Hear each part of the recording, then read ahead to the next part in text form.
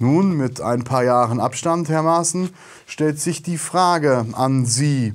War es ein Fehler, dass Sie während Ihrer Zeit als Chef des Bundesamtes für Verfassungsschutz nicht stärker gegen die AfD vorgegangen sind? Oder ist es ein Fehler, dass Herr Haldenwang dies in der Zeit danach getan hat? Also ich bin der festen Überzeugung, der Verfassungsschutz sollte keine Parteien in Deutschland beobachten.